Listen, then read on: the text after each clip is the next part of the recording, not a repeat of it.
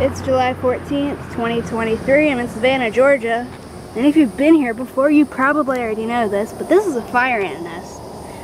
And if you haven't been to the southern U.S., yeah, they're here. So if you ever come here for a visit and you have to walk through the grass because there's no sidewalk, because 99% of the time in this stupid city there's no sidewalks, if you see a patch of raised, freshly dug dirt, do not step there or you will get bitten and you can literally be hospitalized. So, yeah, don't step on fire ants.